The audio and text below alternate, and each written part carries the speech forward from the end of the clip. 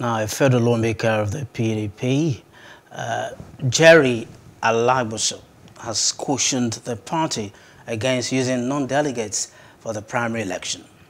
Alagboso was speaking when he declared his interest to represent Imo West Senatorial District at the next general elections. He called on the party to provide a level playing ground for aspirants seeking various elective positions.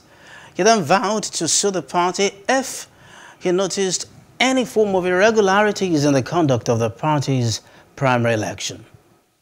I want the party to give us level playing ground, bearing in mind those who will win the election after the primaries.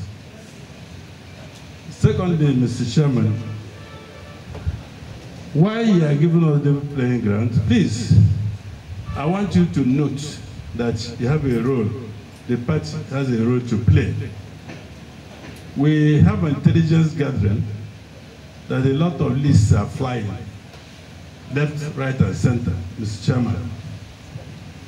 What Wadata advised, and what I know you're advising in this Imo state, is that all lists must pass through you.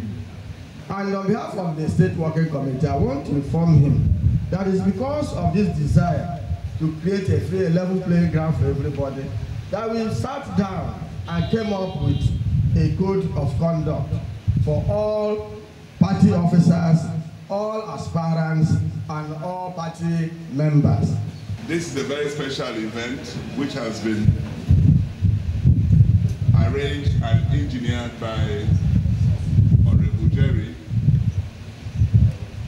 Jerry is a, a very famous stalwart of this party from the grassroots. Hello, hope you enjoyed the news. Please do subscribe to our YouTube channel and don't forget to hit the notification button so you get notified about fresh news updates.